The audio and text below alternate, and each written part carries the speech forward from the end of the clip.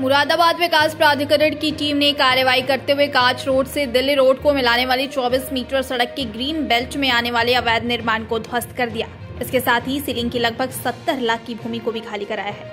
इस दौरान सुरक्षा के लिहाज से पुलिस फोर्स तैनात रही। दरअसल एमजी की ओर से सोनकपुर फ्लाईओवर से शाहपुर तिगरी जाने वाली 24 मीटर सड़क के गाटा संख्या 370 पर अभियान चलाया गया, जहाँ अभिरल गुप्ता, अलका रानी और मनीष नारंग द्वारा अनाधिकृत रूप से बनाई गई चौहर दीवारी को ढा दिया गया। इसी सड़क पर गाटा संख्या तीन पर हर प्यारी आदि द्वारा निर्मित चौहर दीवारी और सड़क पर आंशिक रूप से आने वाले धर्मकांटा को भी टीम ने गिरा दिया। इसके अलावा एमडीए ने सोनकपुर फ्लाईओवर से कांशीराम योजना की तरफ़ भूड़ गाँव लगभग 200 वर्ग मीटर सीलिंग भूमि पर 12 फीट ऊँची बाउंड्री वॉल बनाकर किए गए कब्जे को भी खाली कराया। वहीं इस कार्रवाई से काठ रोड से दिल्ली को मिलाने वाली निर्माणाधीन सड़क के निर्माण में भी गति आएगी। देखिए, मुरादाबाद विकास प्राधिकरण के द्वारा जो मुरादाबाद विकास क्षेत्र है, उसके अंतर्गत 11 गाँवों में एक अपनी बड़ी महत्वाकांक्षी आवासीय योजना को लॉन्च किया जाना है। उसके तहत हम लोगों ने नोटिफिकेशन निकाला है और किसानों की सहमति से हम लोग भूमि क्रय करेंगे। इस आशय का हम लोगों ने प्रस्ताव भी दिया है।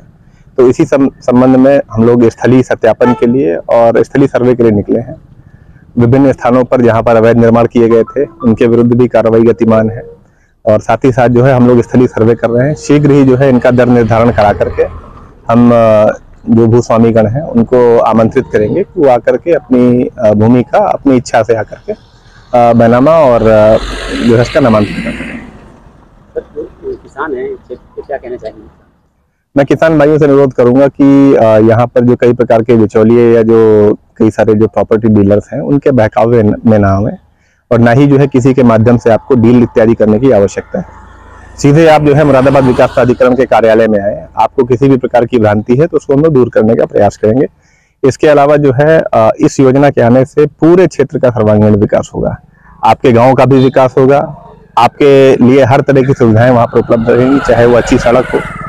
अच्छी जो है क्षेत्र में रहने के लिए प्लॉटेड उसकी व्यवस्था हो, ज़मीन की व्यवस्था हो, चाहे आपके लिए एक अफोर्डेबल हाउसिंग की व्यवस्था हो जो कि हर एक आदमी के लिए किफ़ायती आवास बन सके। और आपकी जो ज़मीन ली जाएगी सहमति के आधार पर, उसमें भी आपको जो है, आपकी ज़मीन का चार गुना तक दाम आपको दिया जाएगा।